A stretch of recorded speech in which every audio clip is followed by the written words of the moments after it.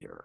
All right, so like I said, we're going to go through the wheelchair comp today. I'm going to go through the step by step how we do the wheelchair comp. Each wheelchair comp is going to have a scenario. So your scenario might have a patient that's a stroke. Your scenario might have a patient that is a hip fracture where they had hip replacement. Your scenario might be a scenario where the patient had total knee replacement. In those cases, for most of the cases, again, we're designing a wheelchair that's going to be a long-term use for them, right? You're not going to have to measure all the specific special measurements like, you know, head measurements. You're not measuring them from a headrest. You're just going to measure your general measurements, right?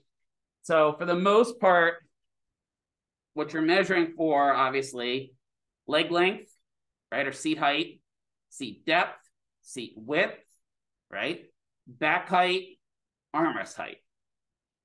So we're going to go through all those measurements. You're going to have to demonstrate all of those measurements. Then you're going to have to show your person the parts of the wheelchair. So you're going to break down and kind of go through the parts of the wheelchair, show them how the armrests come off.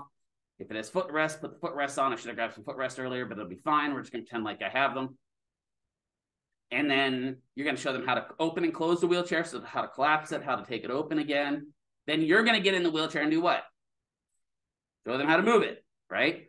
Part of the comp is going out and using the ramp outside. I am still awaiting permission from the um, property owner. He did not seem very thrilled about letting you guys go outside and use the ramps.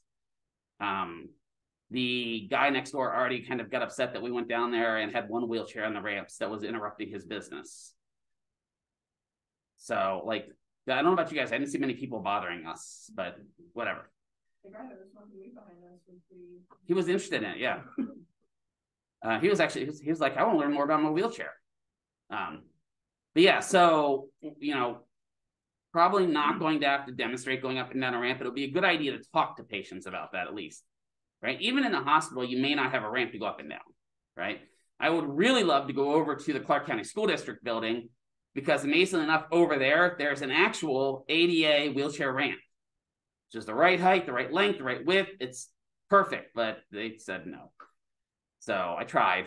Uh, well, the, the, but it is their main employee entrance, so I understand if we had a bunch of people going up and down the wheelchair, kind of getting in their way, right? Um, and they got important Clark County School District stuff to do, so can't interrupt that. So we're going to go through that. I'm going to bring somebody up. We're going to demo kind of start to finish what the wheelchair comp is going to look like, and then I'll take some questions and then you'll practice. Um, there are a couple of you that have comps to make up. You may have the uh, transfers comp to make ups. Uh, I know at least one or two of you have glove gown and mask to make up with me. And then there's at least one other one I think that needs to be made up with some of you. Oh, um, vital signs. So a couple of you have that. Well, I'm going to use Dr. Arata kind of or my makeup comp person. So once we kind of get practicing, I'll float around and answer questions about the wheelchairs. And as you're ready to go get comped, she'll check you off on your comps for those comps. That kind of keeps one of us kind of floating, and then also one of us getting rid of the, the back comps. Those all have, if, if the comps aren't done, I can't pass you in the semester. If I can't pass you in the semester, you can't go on to clinicals. Believe it or not, if you don't get the comps done, you can't do the practical. If you can't do the practical, you definitely fail. So we got to make sure we get all those comps done. Um, so there's a couple of you that have that. You, those of you that are here that know it, I'm not going to call you out. You know, Edwin, I wish you would do your. I'm joking. Edwin just did all his Comps. I'm just messing. Right? He's just an easy target. So let's go through the scenario. So what's going to happen for the comp? You're going to come up to one of us for your comp. You're going to be ready. You're going to have a partner. Now, you're not going to get the same scenario as your partner. That means your partner doesn't have to have comp before they did it. Because as soon as you draw that scenario, guess what? That comes out of the pile. They can't get the same one, right? Because that way it's even. You don't have to be worried about doing it with a different person. I should probably stand in the camera so they can see what I'm doing. I'm not standing. My habit of walking around is now limited to here. Um, you know? The tracking webcams is what I need, right? I have one of those at home. That's why I do. Oh, anyway. So you'll draw a scenario. That scenario will say, you know, you have your patient is a 63 year old patient that had a right middle cerebral artery stroke and is now looking for a wheelchair for consistent mobility. Measure the patient for the wheelchair, explain the wheelchair, and dem- have demonstrate them mobilizing the wheelchair, right? So let's just say we had that stroke patient as an example. What are some thoughts going through your head? Probably going to be flaccid on one side. Good, right? You have to figure out if flaccid upper extremity, lower extremity, or both, right? And it'll say the scenario. So don't totally freak out. You don't have to kind of go, oh God, I got to go look this up. It'll say in the scenario, right? So think about the flaccidity. What else do you have to worry about? Which side's affected, right? You know, it's a right MCA that tells you the part of the brain. So that means left side affected, right? So you have to kind of think a little bit through that. It's not going to tell you your left side is, but it'll say upper extremity more flaccid than lower, or lower extremity more flaccid than upper, or bilateral flaccid. Not bilateral, but um, unilaterally flaccid. So everything's flaccid over here. It'll cover something to that effect. Does that make sense? Your patient does not have to sit here and be like, right? In a real life, though, your patient will be doing that. So, although this is a practice run at doing this, understand there's going to be more to measuring than just what you're doing, right? You're, we're going to effectively say that your patient has good sitting balance, actually fair sitting balance. That means they can have both hands on the mat and sit up okay, right? So you're going to have your patient sit at the edge of the mat, and then you're going to do the measurements, right? Their feet should be where? On the ground. Yes, mine are dangling. So feet should be down on the ground so you can get the measurements, right? What are some other things you might ask your patient before you start taking measurements? Okay. Medications, right? You might want that. That'd be good for your SOAP note. Then I heard shoes. Are you going to be wearing shoes on a regular basis? If so, are these the normal shoes you're going to be wearing? Because what if, you know, today I'm wearing these, but I'm going to be wearing Timberlands, right? That might actually affect measurements a little bit, right? Mm-hmm. Or, you know, maybe I'm going to wear a set of Chucks, and those Chucks definitely have a smaller heel. So you have to kind of take that into account. And if they say, well, no, I don't have those shoes with me, well, measure and get kind of go off what you got. But for the most part, your patient's going to say, yes, these are shoes I'm going to wear. What else might you want to know about what they're going to wear? Clothing, right? Is this what you normally wear on a daily basis? No, this is only what I wear to lab. I'm just joking, see, because it'd be you guys, right? Ah, I'm so funny, right? And we're going to assume that it is. Okay, so you get that. What other kind of anthropometric measurements do you need to get from the patient? What's AP measurements mean again? They're human measurements, anthropometric, right? So what human measurements do you have to get from them? Weight. Height and weight. There we go. Good. I heard them. Height and weight. So you come up to the patient and say, you know, about how tall are you? And then about how much do you weigh? Right? They don't have to be exact. Ideally, if you were in a, a, truly measuring clinic, you'd want to take them over the scale and weigh them and get the correct height, right? But if I'm like a flaccid stroke patient that can't stand, not going to go well sitting over there. Now, most places that have hospital beds, where's the scale at? The end of the bed, right? You can usually now 90% of the time, and I'm sure those of you that work in hospitals say they don't work. They work kind of, sort of, maybe. At least it gives you a good idea how much the patient weighs, but it's not perfect, right? So you may have to look at that. How could you get their height if they didn't know their approximate height? Yes. Could measure them, right? You could just have them lay down, take out a tape measure, and go from head to foot and measure them, couldn't you? Could I get it and seated here? Sure. Right? I could measure my my leg rest height, right? Depth, and then measure from here to my head. And would I have all the measurements I need to estimate their height? Yeah, is it gonna be perfect? No right? You're going to be like, well, I measured you five four and you're actually five three, close enough, right? You're not going to get like measuring this and they're seven feet and they're actually only four foot two. If you do, you need to learn how to use tape measure. I'm just saying, right? For most clinics, again, until we kind of adapt out of America, we do measure in inches for these because wheelchairs are all set up, all the sizes are set up in inches. If you go over to Europe, though, again, guess what? Now everything's in centimeters, you don't have to adapt, right? So just be aware of that. But here we're America, so we measure in freedom units, right? So we measure in inches and pounds and all that fun stuff. Is there anything else you can think of from the patient you might want information wise? Okay, if they had any other surgeries, good.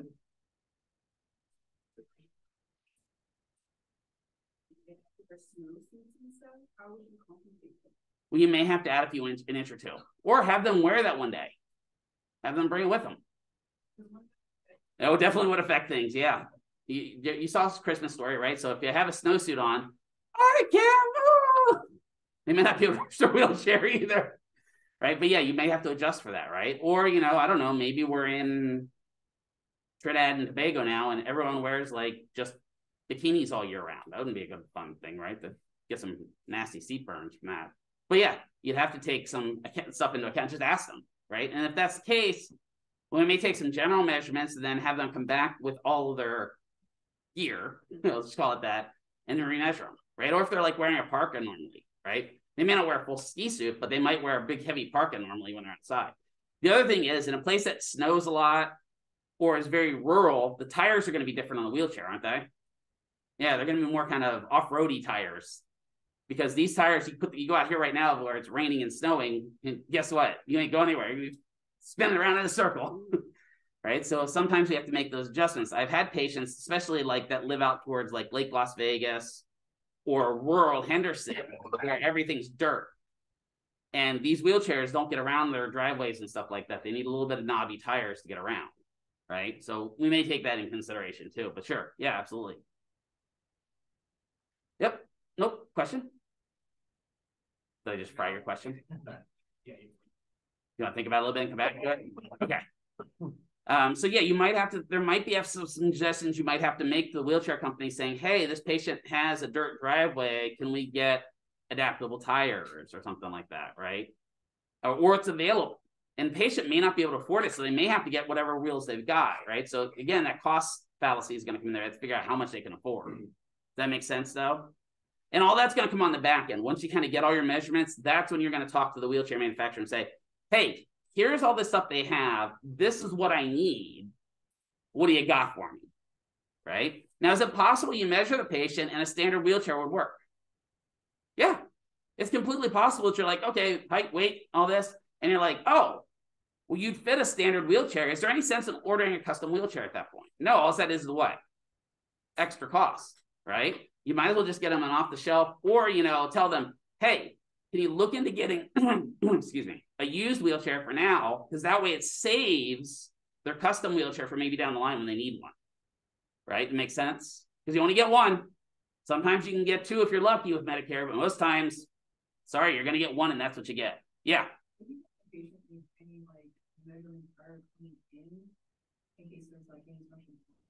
Yeah, I would ask them. What, I, I mean, yeah, they could, but a lot of times we're you know that's going to come from family more than them especially if you're in the hospital setting, because you're going to be like, okay, you know, Gene had a stroke.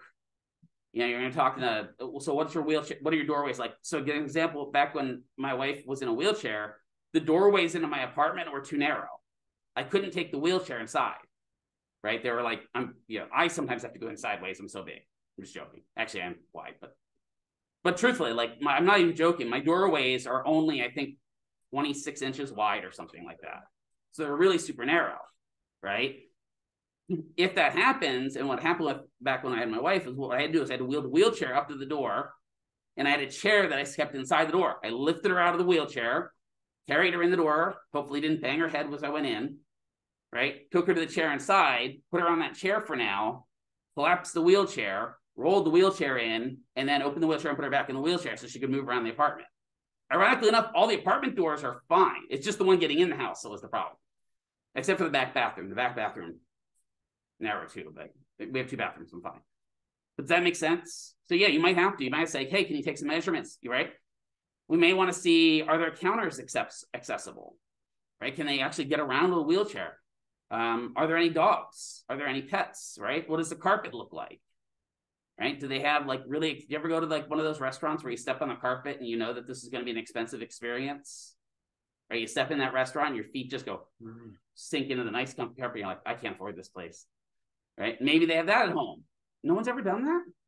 I've been a couple restaurants like that before. I did that in Orlando. I went in for a steak place and I walked in the place and I'm like, I can't afford this place just by their carpet. Sure enough, I was right. I should have walked back out. Steak was 92 bucks. Anyway. Oh, got one good steak though. It was good. But yes, you may have to talk to your patient about stuff like that. Right? Ask them what's going on. What are, what are they living to? Do they have any help at home? right? So they don't have help at home. Could they be stuck if once they're in a wheelchair? Yeah. What about in the bathrooms? What might you want to know for somebody that's in a wheelchair? Safety bars. Safety bars. Door width, door width right? Toilet. Toilet height. How to get in and out of the shower? Do they have a shower with like standard sliding doors? Are they curtains? Right? Which do you think is going to be easier for somebody in a wheelchair, curtains or sliding doors? Curtain you can open all the way. Yeah, out. curtains are usually a little easier because they can kind of just you can just reach up and kind of right. You have a sliding door and you do that. I don't know if you, I, you guys ever do that, but you do that too much to a sliding door. If you have a kid, what do they do? Bang, bang, bang, right? They just close and open on you, right? And not only that, but if you have the curtain, it can open all the way. Have more access, right? You know, maybe they only have a tub at home, so they might also need a what? Shower chair, right? A mobility chair, right? But yeah, definitely we want the grab bars because they're gonna need to know if they can do it, right? What's their toilet height look like, right? If their toilet height's really low, right? Um, like our toilets here, I, I hasten to believe those are handicapped accessible toilets.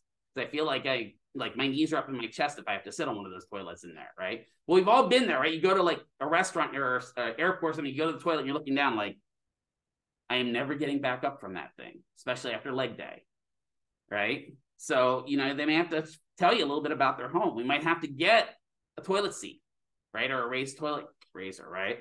Um, we might have to get something that helps them get into bed too, right? Might we have to teach them a slide board transfer? Maybe it might be beneficial, right? Might have to give them a lift. Who knows? Any other questions on the general comp before I start going? Does that make sense? Okay. So I need a person. I pr- promise you, this is not going to hurt you in the least. You're just going to be the victim on camera. Who wants to be my victim on camera? Edwin, how'd you like to be the victim on camera? Come on up. Hey man, you got that charm, bro? Yeah, that's what I say. He's got the charm for it, right? He looks like a movie star. So I'm gonna have you sit, just sit on the edge of the mat, your feet on the floor. Let's first. So, yep. So he dangles a little bit. So I want to bring his feet down just a little bit. There. See, you're on camera. You're on candid camera. So do we need to ask them the health question? That's what I'm gonna go. Well, you don't have to. no. But it may be something you want to do in the real world, right? There you go, Are brother. the cohorts gonna see this? Your cohort is. Oh, okay. Yeah, you're The fine. future ones, right? I mean, not unless I'm like doing starring Edwin. Oh, cool. All right. So, what? How do we begin the comp? What do we do? Come in and introduce stuff, right? So I'm gonna come in and say, "Hey, Mr. Edwin, I'm Mr. McKeever. I'm gonna be your physical therapist assistant." For you guys, you'd say you're the physical therapist assistant student, right? It's really important. Don't say PTA. Why? I don't know what it means, right? Like, oh, you're from the, the Parent Teacher Association? Come in to measure me? That doesn't make any sense, right? Make sure you kind of tell them I'm a physical therapist assistant. Uh, good job Sorry, picking my sorry. table. I'm just messing. Sorry. I have to edit that out. Um, but yeah, so I'm gonna yeah, introduce myself. We're here to do what? What would you say? Wheelchair measurements and explain to you how to use a wheelchair. And then we say, is that okay? Can we do that today? That gives us what? What type of consent? Verbal, informed consent, which I just remembered I forgot to put on that SOAP note, but it is up, by the way. So I gotta add, you should add verbal informed consent on your SOAP note, right? So yeah, patient gave verbal informed consent, or they say agreeable to treatment. That means they actually said something, right? That's usually what I use. So I got that. Now I need to probably assess if he has any what? Any deficits or any, what's the other word we like to use? Any contra indications, right? So that would be where I ask him, do you have any of these following things? What would be some contraindications? Yeah, well, cancer, I'm not really worried about for wheelchair unless it's on his butt. Any new fractures? Good. Have you fallen recently? Right? Um, do you have any blood clots? Because we're gonna be moving around. Any new blood clots? Are there any? My main one I ask a lot in hospital is: Are there any new doctor's orders I need to be aware of? Right? Maybe you got a doctor's order he's not supposed to be out of bed. Well, then I shouldn't do what? Get 'em out of bed. Get him out of bed. Makes sense, right? Of course, he's saying no because he's the perfect patient, right? Yeah. Yeah. Well, yeah, yeah. I would. I mean, I- hopefully it's obvious to you, right? but yeah, I mean, just uh, that's what I say. Is there any new surgeries? That would be a good way of saying, "Oh yeah, I got my leg lopped off." They'll tell you that then, right? Uh, hopefully you not walk in and go, "Okay, let's stand up," and the patient's like, "Really?" I actually had that one of the scenarios for one of the practicals. I remember which one it is. I think it might be next semester. So the patient has bilateral amputations of the lower extremities. And obviously, you guys can't fake that because I'm not going to chop your legs off. But every time I do that, at least someone says, okay, now you need to stand up. That's just cruel and unusual punishment to a patient, right? I don't have legs, but he's fine. Doesn't have amputations, right? Okay, so I've got consent. I've checked for contraindications. That may be where I ask him, is there anything new I need to be aware about? He doesn't have anything new. So what do we start with? Well, we'd start with measuring for the wheelchair, right? And what do I need to measure for the wheelchair? Well, ideally, what you should have for measuring for the wheelchair is two yardsticks and a tape measure, right? You don't have to have the yardsticks, but what I find is I get more accurate measurements if I have the two yardsticks, right? You can go with just the tape measure, right? If you, you know, if you're at the patient's home, you don't carry two yardsticks with you, tape measure still fine. I'm old school. I prefer one of these tape measures because I break all the other ones, right? So I like the, the standard kind of tapey tape measure, but any of the tape measures work, right? So then I have to ask him, are those the shoes you would normally wear on a daily basis? Great. Yes. Is that clothing kind of generally what you wear during the day? Yes. Okay. Just making sure. So I'm going to set these down. I don't need these yet.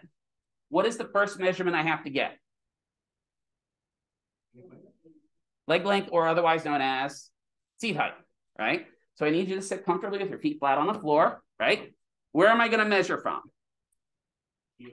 From the heel, right? Up to popliteal fossa. Good, right? So I'm going to come down here and measure up there, You right? guys, you guys gotta stay back there. I don't give my consent. He doesn't give his consent for you guys to observe. Yeah. Too late now. You got the whole world observing you. Right? So what if you're not sure about the measurement? What should you do? Measure Just twice. Doesn't hurt, right? So I got 18 for that. I had 18 for that. And I would have one of these sheets with me. Now, could you fill a nice one? Because I'll find what happens as you guys go through this, you're gonna have scribbles everywhere. You don't want to turn the scribbly one in, right? But having one of these that you scribble all over, then you take your scribbles and you go to a fresh one and do what? Make it nice and neat, right? So I got 18 for that. Now what else do I need to get? See, depth, right? What does seat depth go from? Most posterior aspect to the to fossa. That's why I like to have these rulers. Because what I can do with one of these, stay, I can take this ruler and I can set it against the back of his kind of buttocks there, right? And now, you can, and you can even lay it down if you want. I just want it kind of against the most posterior aspect. And now I have somewhere to measure to, right? So then I can go from his popliteal fossa back to that. So I got 20. I'm going to write down 20 on that, right? So 20. Then what do I have to get? I Get seat depth. I got seat height. I got to get seat With, width. Again, that's where these come in handy because I can take them and he's, are you sitting fairly relaxed there? Yeah. Yeah. And I can lay one on either side of him. By laying one on either side of him, now I can just come to the back and do what? measure. Measure between them, right? So his depth is about 17, or his width is 17. Skinny. Well, I mean, that's not the smallest, just to let you know. Okay, Isn't the ruler at an angle and not getting the most accurate? you want to try to, so the- it may slightly. That's why when I was back here, I kind of made sure they were kind of straight as possible. Is it going to be slightly? Probably, but not enough to affect the measurement. If, if they're like this, yes. Right, that's why when I came on here, I tried to make them as parallel as possible. Now, if you. You wanna, you wanna always err on the side of like the wider side, right? Mhm. That's why I use the rulers. Because if I just come back here and measure his buttocks, I could be off by an inch or two. Right? This gives me out to his thighs as well, right? Because he's been doing leg day all day and his legs are swollen. All right, so I got that's why I like using the rulers. I could just use just the tape measure, right? But uh, this is a little bit more accurate. Then I need to get seat height. How do I get that? Same seating surface, the axilla, right? So now if your patient can hold their arm out like this, have them hold their arm out like this, because that gives you a nice area to, for the fold, right? If not, you just have to kind of estimate it, right? So he can do it. Look at it, he's doing a good zombie motion here.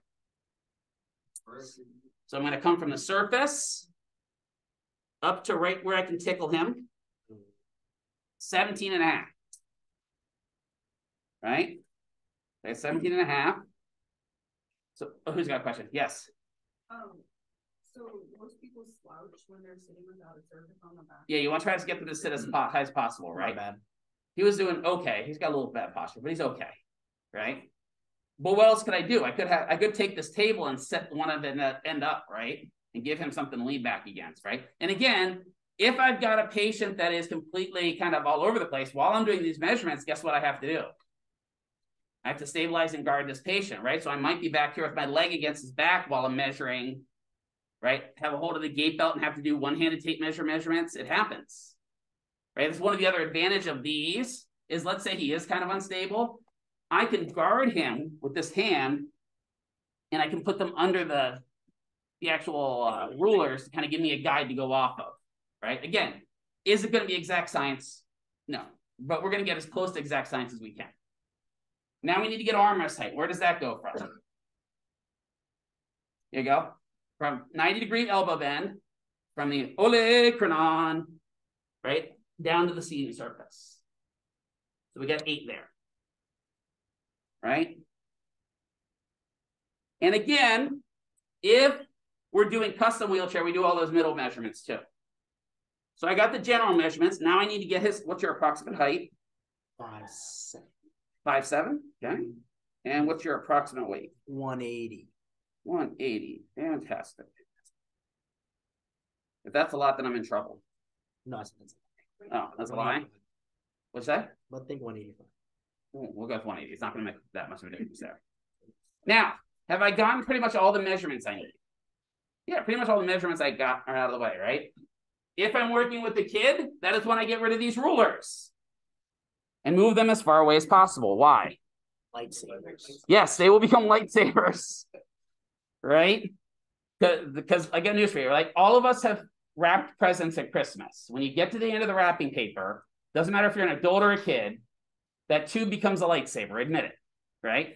Same thing with these. You'll be sitting there telling them about the wheelchair, and the next thing you know, you're being knighted, right? So then I have to describe the wheelchair, right? So that's what I'm going to bring over. Now, this is not your wheelchair, but it is one similar to the one you're going to be getting, right? So first I have to talk about the seating surfaces. So this is going to be the backrest. This is where your back is going to go. This is the seating surface. This is where your bottom is going to go. This wheelchair collapses, and the way it collapses is by grabbing a hold of the seating surface and pulling up, right? To open it up on the sides of the seating surface and push out. These are removable desk rests cutout armrests. I can pop them off by pushing in on that, get them out of my way, or I can put it back in and put them back. Anyone of you guys bent this one already? What else do I have to show? The locks. Brakes, right? These are what type of brakes? Oh, Toggle brakes. They toggle on and off. Push forward to lock, pull back to unlock. We have two wheels. Our front wheels are our caster wheels. They allow you to move around in circles and do different motions. These are your drive wheel. On the drive wheels are your, what is it called? Hand rim projections. That is what you're going to push the wheelchair with. These are your leg rests. They're extendable and removable. And this is how you take them on how you put them off, take them off, right? Um, these are your caregiver projections, allow them to push you around. Back on the back here, as you can see, are those two little projections on there. Those are the anti-tippers. They're designed to help keep you from falling backwards and also so that somebody can tip the wheelchair if they need to help you get over curbs or that. The wheelchair itself has a couple maintenance points that you need to be aware of. The wheels should be at least lubricated once every month. And then on the bottom here, the cross member where the collapsing part happens, that should be lubricated about as much. Standard WD-40 is enough, if not bacon grease. I'm joking, don't use bacon grease. At least it'll make your wheelchair smell better, right? Is there anything else I need to cover? What do you guys think? How they turn and- Good, there we go. So then I need to go, okay, so then you're gonna sit in the wheelchair. And again, remember, your patient, when we put them in the wheelchair, is gonna Wingardium Leviosa over to it. You don't have to transfer them, right? You're gonna be like, okay, after I've shown them how to do it, whoop, over they go. We're gonna pretend that it's functional, you transfer them. So, what way, what I have to show them about movement? In order to go forward, right? So in order to go forward, what's the instructions for going forward? Put both hands evenly on the wheels and push forward. In order to go backwards, hands on the wheels and pull backwards. In order to make a right turn, right? Good. So well, remember to make a left turn, we're going to lock the right wheel and push with that left. To make a left turn, you the other lock with this hand. To make a quick turn, you're going to push and pull at the same time. Right? Sometimes you need to get up and over a small projection, such as a door threshold or something like that. In order to do that, you may need to like pop up. Yes, you will practice that with your person. And the way to do that is you take a little bit of force and you give yourself a little bit of a pop, right? That'll allow you to kind of hop over projections and allow you to get everything. um, to go in and out of a door, you're going to approach the door as square as you possibly can, depending upon the patient, right? We may have to change those. You're going to reach for the door and allow the door to push open as far as you can. Go through the door evenly. Make sure that you're lined up so your hands don't get banged against the walls or against the door. If you're having difficulty, please ask for help. Somebody will help you if you ask for it. Going up and down curves, again, you may need help with that. Also, going up and down a ramp. If you're going down a ramp, the important part about going down a ramp is being slow and controlled. Right? So you have to control the wheels going down. You can slightly apply the brakes, provide a little bit of friction so you slow down going down. To go back up the ramp, you're going to have to build momentum. So you need to start a little bit back from the ramp and push and maybe slightly lean forward. Again, depending upon if they have precautions, we may not be able to lean forward. Right? And then we say to them, him what? Do you understand? Right? He says, Yes, I understand. Yes, does. He's being cantankerous patient. Have I checked your meds lately? Right? If he understands, then I'm going to lock the wheelchair, right? And that's when we're going to switch places. And then he's going to get in the wheelchair. So I'm going to have you come over and get in the wheelchair. You magically transport, right? And then I'm going to have him demonstrate. Please unlock the wheelchair and then lock the wheelchair again for me. Good. So you understand how to do that. Go ahead and unlock it again. I want you to go forward for me. Good. Please go backwards for me. Good. Make a right turn for me. I love it. Then make a left turn. Mm-hmm. Good right? And then we would take him back and we would show him how to go in and out of a door. We're not going to go out to the curb until we get approval to go out to the curb. At this point, we're not going to do the curb, right? So you will have to take him back here and show him how to go out in and out of the door, right? Again, you're not going to be able to wheel yourself back there and demonstrate it or sit in his lap, right? That means you've got to demonstrate that part on the fly, don't you? To have him go back there. It's also a great time to have him push himself all the way back there because that is considered wheelchair mobilization. And could I document that? Yeah, right. And then I also document his assist levels. Maybe he got halfway back and got tired and I had to help him. Right? I might have to give min, mod, max assist for that. Right? Hopefully not max, because then I don't know what he's doing in the wheelchair. Baby pushes is all he's doing, right? But that gives so if I was going to the back of the room, how far would you estimate he mobilized the wheelchair? Let's say you're up here. How would you know? Count right? So we got 1, 2, 3, 4, 5, 6, 7, 10, 11, 12. We'll say 13 back and then 1, 2, 13, 3, 4, 5, 6, 7, 8 across, 8, 9 across. So 13 times plus 8, 9. So say, let's just say we got 25, make it easy, right? 25 times 2 is 50 feet. So we mobilize the wheelchair 50 feet back, right? Now, if he comes back forward after we're done, that means he did 50 feet times two, because he did take a break while we're going over the door.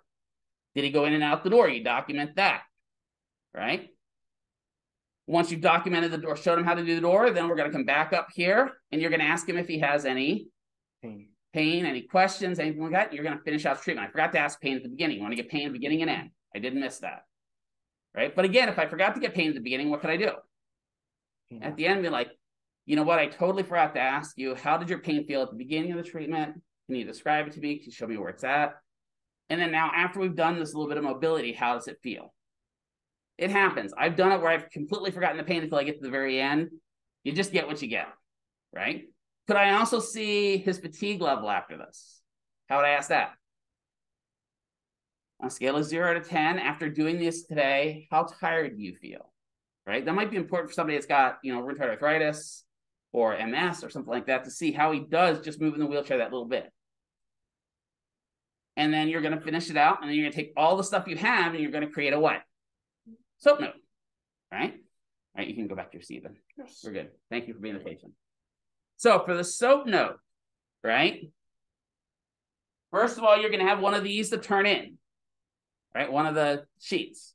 So if I was a person that I was working on these, I'd grab two. One that you can kind of scribble on, and then one that you're going to turn in as the official patient record.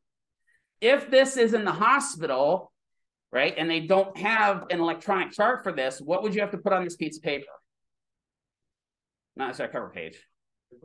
You'd have to, okay, so it has to be HIPAA compliant, right? So if I'm in the hospital, it has to be face down so no one can look at it, right? But it should also have a patient sticker on it, indicating that it's with them, because that sticker is going to have what on it? The barcode, the their uh, what do you call it? Their I want to MRA. There we go. I was going to call it their uh, MRA number. That's different, right? It's going to have their record number so they can put it in document, right? Now, if they do do electronic do do, if they do do electronic documentation, more than likely this is going to have to get out of the therapy department and get scanned, right? Because that's just the way it is. These all have to be electronic nowadays, right? But if not, it may just get put into their chart if they still have. There are some clinics still in town that have paper charts, and I don't know why. Because, right? So I've got this. Do I have to put all these measurements on my SOAP note? No, I could, right? But I could just say, see wheelchair measurement chart for activity for measurements, right? Or see flow sheet for wheelchair measurements, something to that effect, right? So you can do that. What that would be an objective because it's measurements, right? So in my subjective, I would put that he agreed to treatment. Did he have any pain pre post treatment? Um, what was he like? Did he just take his pain meds? He indicated, I just took my pain meds two hours ago. I would indicate that patient reports taking pain meds two hours. Anything he tells us, right? Um, I always put consent in there because that way, if the patient says, "Well, I didn't agree to this," right? You indicated that you asked them consent. Now, is that going to be 100% legally binding? I don't know, but at least protects you, right? And then objective. Well, I want to have C flow sheet for measurements, right? What else do I want an objective? How far he traveled, right?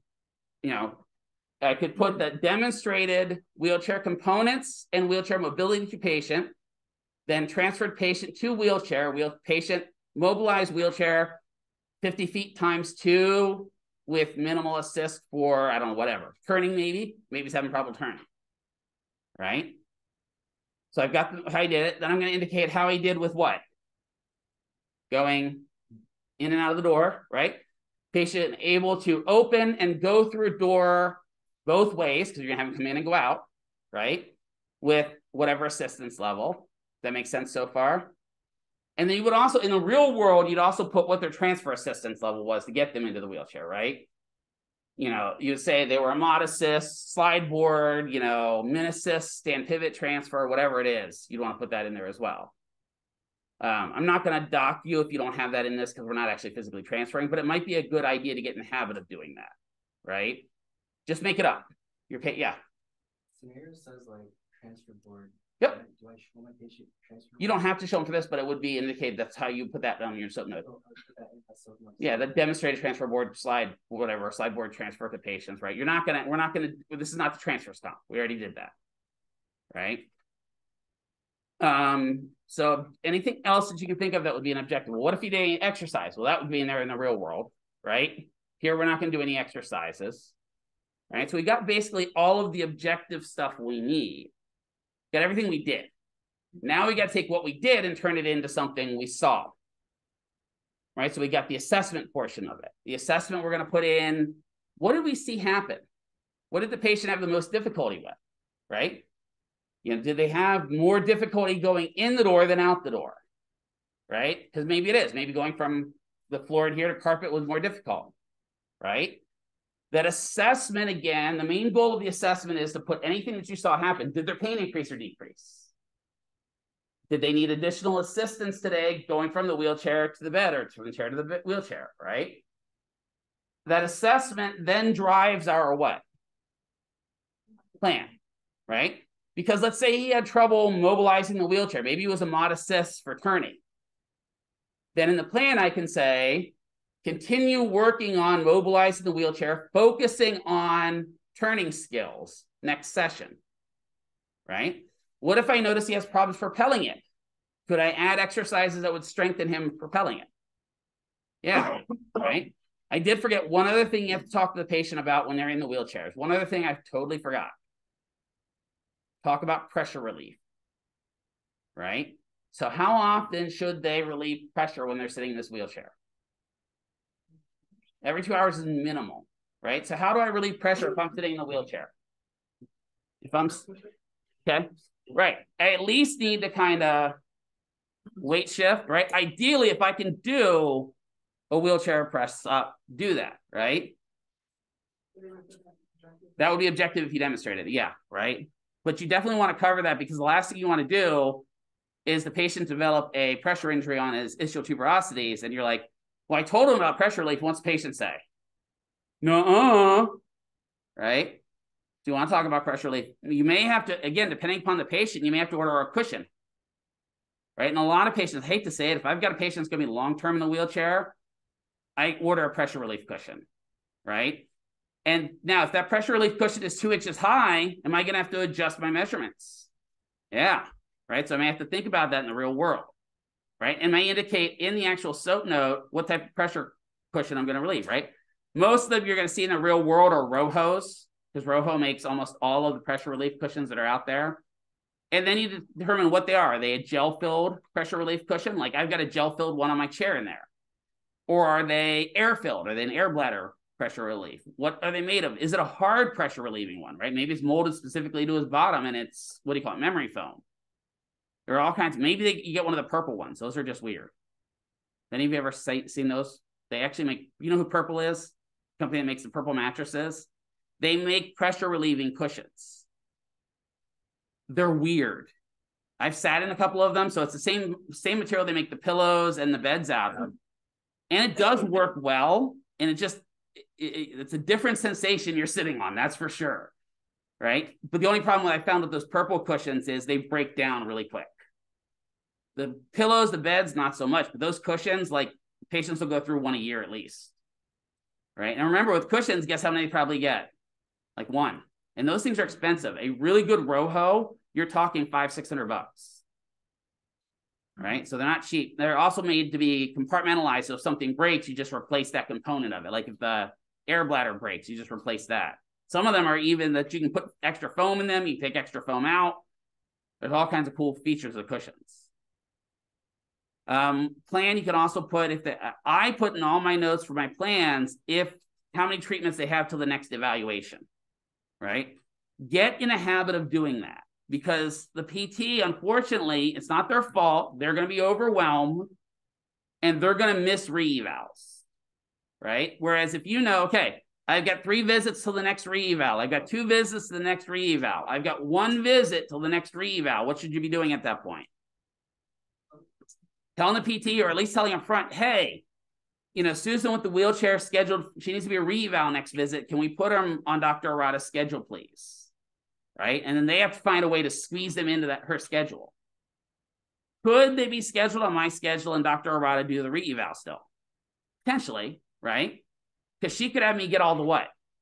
Measurements. She could say, okay, I'll come in and do the reassessment. Do me a favor, get me uh, manual muscle testing, goniometry, get me how the wheelchair is going. I want all that written out for me, and then I'll come in to finalize the re- re-eval, right? So she comes in for the last 15 minutes, gets all the glory, and we did all the work. I've had that happen lots of times, especially with Oasis is on home health. you see, Oasis is a bad word, isn't it? What about help? How about this? Hold on. FIM. What? FIMs. I, those are bad words. Yes. Yep, I figured as much.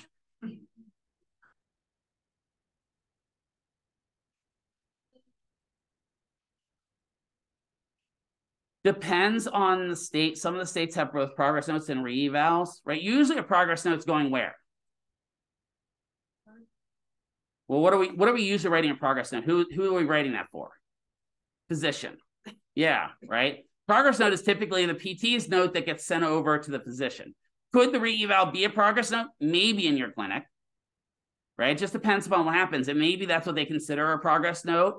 But a true progress note is just basically here's how the patient looks right now, and we may need more visits, right?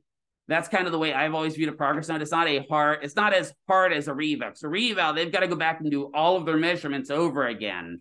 Whereas a progress note, she may just come in and go, So how do you think you're doing in therapy? Oh, I'm doing okay. I'm a little having trouble with balance in this. Okay. I'm going to send a note over to your doc. And that's kind of what the progress note is. And it's just basically like a, a soap note that goes to the doctor. Right? Yeah. So the eval be like, let's say you're working on the knee and they just add a shoulder on it. That would be that would be a total eval. It wouldn't be a re-eval. Right? That could be a, that would be a secondary eval. Right? But let's say that again we're in the hospital and the patient goes from I don't know, the general med floor down to the ICU. Now that's a re-eval, right? Because they've now gotten worse and they, they got to go see the PT, right? Um, or in, in the case, you know, where it's been so many visits, right? And that those are changing. So I don't want to totally talk about that right now. We'll talk about that in billing because there's going to be some changes to how many visits it takes until you have to do a re-eval, right? But there's hard, each state has different rules. But if the patient is under Medicare, whose rules do we follow? Medicare's, unless the states are more stringent right? Just be aware of that. Medicare is kind of is your universal whatever I do. They say we do it, right? So if Medicare says every five visits and your state says seven, it's every five if that patient's a Medicare, right? If the state says five and Medicare says seven, it's five. It's whichever one is the most kind of tight, right? You would think that we just have one universal. This is how many revals, but why do we have to have those notes about when we have to do revals? Let's face it, what would happen if we didn't have a rule about reevaluations? They would never get them, right? We would just write soap notes and it would just be the patient would just be seeing us for nine years and there'd be no, it, it's not, it's not, I'm not saying fraud, right? But what I'm saying is it just, there, if there's no rules there, we won't follow the rules. That's kind of the way it's got to be, right? Uh, maybe the state says every 30 visits they have to be a reeval. Good Lord a lot can happen in 30 visits, right? I hope my PT would want more than just every 30 visits, right? Because they want to know what's going on with the patient too. Because what if they do a re-eval and the patient's good and needs to be discharged? You get them out the door, right? Any other questions about the general wheelchair comp? So you understand kind of the process, right? Yeah. This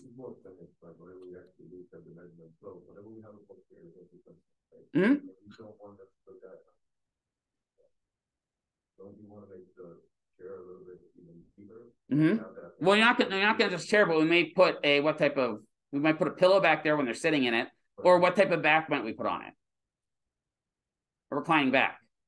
Yeah, we can keep the measurements the same as long as we tilt this back 25 degrees.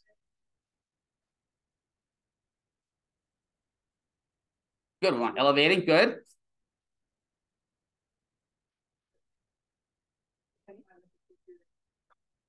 I mean, it depends. If I know that they're kind of sensitive, I may elevate the leg, especially if I know that they're starting to develop a knee contracture. Because even on hip replacements, they'll develop knee contractures, right? They're going to put pillows under the leg so it feels better, right? And then you see them and they're like this, right? I like my leg rest to help me with knee or knee contractures because I can put that leg rest up and guess what gravity does?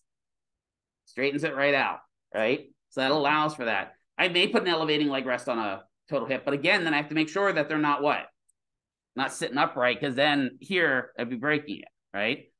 And again, for most of the time, if you're doing it in the clinic, you're just testing it. I would just put at least a pillow back there to keep them from it, right? If you get, especially if you get like one of those lumbar roll pillows, those are really good for total hip replacements.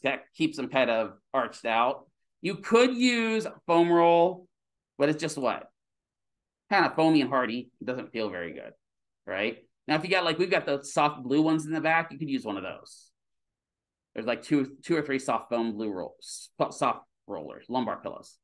But yeah, definitely it, we just have to compensate for it. And again, if they're just going to get an off the brand wheelchair, they're not going to get a custom. We may have to get like a lumbar support pillow or something back there to keep them from going to 90, right? And make sure they understand that. It may be hard for transfers too, right? Because to get out of the chair, right? We have to teach them you have to get out of the chair, keeping the leg down, right? So that's going to affect our transfers for sure if they have a posterior hip. Or anterior hip, not so much. Anterior, we're good. That's why I wish we'd do more anteriors. And the only problem with the anterior hips I find is then the surgery site's here and it kind of gets pinched when they're sitting, right? Yep. So in terms of the top, you said you're gonna give us a scenario, so like I'm not just gonna measure her normally right You're going to measure, yeah, you're going to measure her just the way she is. Your scenario is just going to help you decide what parts you have to run in the wheelchair. now. So it'd be, I believe, One arm, maybe a one arm drive, maybe a, a tabletop platform, right? I would just be like on the dash there, figure out what I would. Yep. Yeah, for the for this, you're you're just gonna measure her regularly, and then after you write it up, that's when you're gonna make the stuff. That's why I'm giving you a scenario so that you have to think a little bit about some accessories. Right? This isn't a think about how she looks if she had a stroke. Right? And plus, I hate to say it, but you guys aren't very good actors yet. We gotta work on those acting skills. Right? I mean, some of you did pretty good last semester with the other group, made them cry. Um, but yeah, so we gotta kind of work on some of that stuff. So not acting, but that that it's, it's really hard to act like you have a stroke. It's really hard to act like you have an amputation too. Right now, if I have an speaking, if I have an amputation, they actually make an amputee leg rest so that it kind of elevates and it only keeps whatever is there. Right? There's one for a, a below knee. There's one for an above knee. Because again, the the bane of all existence for all surgeries is getting stuck in flexion. Right? Um, what if I'm worried about them crossing their legs? What can I put? Pillow? Yeah, if you got total hip replacement, you're worried about them sitting in a wheelchair like this, you may have to put a small pillow between their knees or get their adductor pillow that they have in their room, put that between their legs.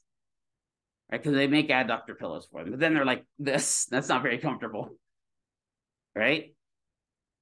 Where now taking this long term, where let's think on the I'm sitting in a wheelchair. Where are you worried about pressure injuries developing? Ischial tuberosities are number ones. Okay, good. Ischial tubes, good. My forearms where the elbows rest. What's that? Greater trochs, good.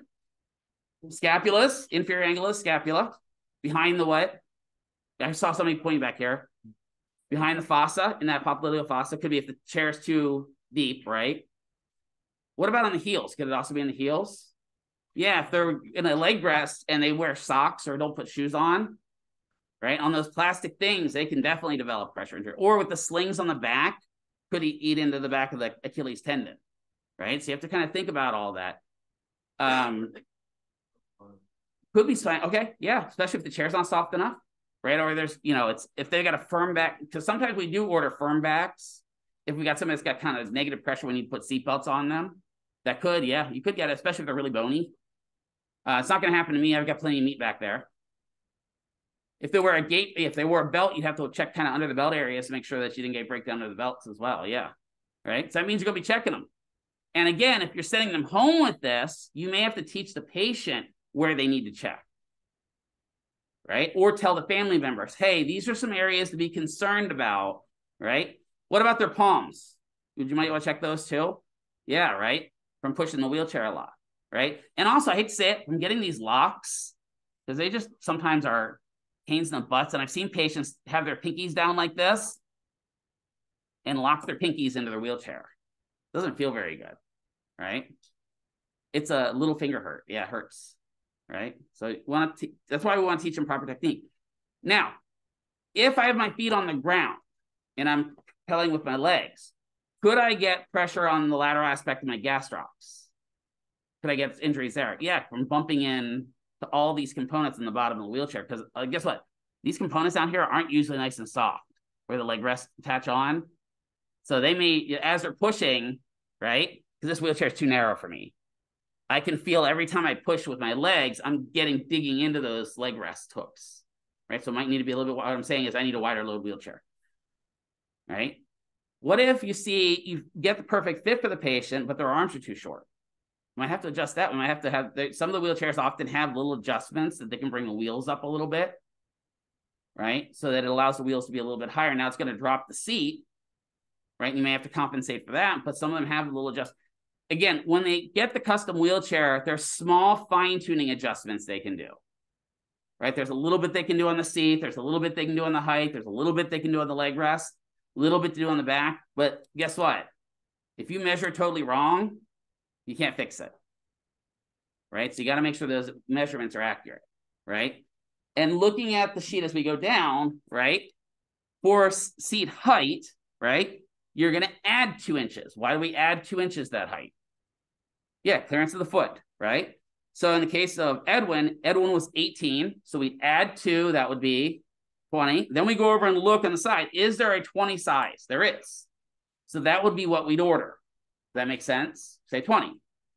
Then we go down to seat depth. He was a 20, right? So that's going back. We're going to subtract two inches for that to give clearance of the popliteal fossa, right? So it's 18. We look, is there an 18 size? There is. We pick that. Seat width, he was a 17. We're going to about an inch and a half. So that's going to go to how much? 18 and a half. We're going to go over here. Is there an 18 and a half? There's, uh, nope, there's no 18 and a half. Right? So if there's a 19, if your wheelchair company orders 19s, you order a 19, but most of them don't. For whatever reason, they don't have 19 inch wheelchairs. I don't know why. Don't ask me. It goes 18, so it goes 17, 18, 20. Or no, I'm sorry, it is even numbers, and it's all evens, right? Uh that back? Oh, seat width. The seat width does the same thing, right? Yeah, I don't know. There isn't 19 seat width. Okay, I'm sorry.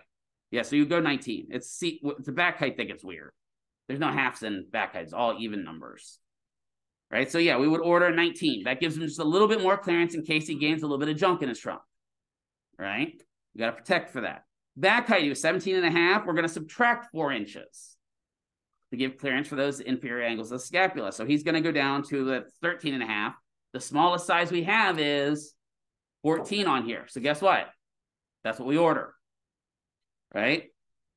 And then armrest height, we just measure whatever it is, and that's what we report. That'll be how high the armrests are. Then we get order all the parts from there, right? So he's five seven. We're going to order a normal adult wheelchair right? Um, his weight, he's 180. Would you order a 200 or 225? Depends, right? Estimate what the patient's going to be, right? If you know, if you, you know the patient's fairly healthy, active, I'd probably go with the 200. But if you're like, uh, I already got some extra weight getting put on, stuff like that, we might order 225 because again, they're going to gain between 20 and 25 pounds in the wheelchair right? And so if he goes 25 pounds, now he's at 205, he's over the 200 pound weight limit, right? So you kind of have to err on the side of what you think the patient will do there, right? We talked about the different leg rests, how they're going to push it, all that. You're going to order that separately. Does that generally make sense, right? And that's all there is to the wheelchair comp. It's just doing that, and then you're going to go home, write a SOAP note, and turn it into me. Right. And I'm going to give you individualized feedback on your SOAP notes. I'm going to be writing up those SOAP notes so that you see what you did right, what you did wrong, kind of what you're looking at, right? Even for the goniometry and the Mann-Must testing, I'm it takes a little bit because I have to go through 23 of you SOAP notes times 50,000 comps. But I want you guys to have individual feedback so that when you go to the clinic, you can have some. And sometimes I even go get Dr. Reskin or Dr. Arata for some of those. I'm like, what do you think about this in a SOAP note? Because I'm going, eh, I don't know about this. Right. And that way I can get some other opinions because I know I'm pretty, I am pretty rigid on SOAP note for you guys to get it, I make them work 25 points. If you get a 25 out of 25 of my soap note, you're better than most people. It's pretty rare for me to give a 25 out of 25 on a soap note because I don't think my notes are 25 out of 25. Right. I think I can improve them. Every time I do a type up a soap note, I'm like, oh yeah, I forgot that. Oh yeah, I forgot that. Right. So don't be shocked if you don't get a perfect, is all I'm saying. It's going to be hard to get a perfect. You're going to, to nail everything on it. Now, by the end of the semester, you might get closer to perfect or maybe even a perfect. But the first one, no, you ain't getting a perfect. Just accept that. Sorry. Sorry, you guys that are going to be my first guinea pigs with my soap notes. I was going to turn in. He's like, not anymore. Right. But again, it's not, it's a way of me showing you love. That's all it is and affecting your grade. But it's showing you love. Right. It's main idea so that when you go out in the clinic, you don't get the same kind of feedback. Right. And in the clinic, they could be like, why did Mr. McKeever tell you to do this? This is stupid. We don't do that in our clinic. Okay do what you do in the clinic. Right. And again, remember, one of the things I'm going to have to teach you guys when you guys go out and do clinics clinics are one world. The boards are a totally different world. You will, when you go to sit for your boards, have to completely separate your brain from the clinic brain to just the book brain. Right. Because I already talked about some Mann-Must testing where we do in different positions. The book says, nope, this is the only position.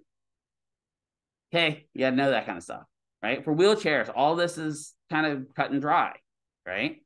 You might get questions on this where it says patient's width is this wide. What how size what would you order? And you have to know the pluses or the minuses. Yes, you have to know those.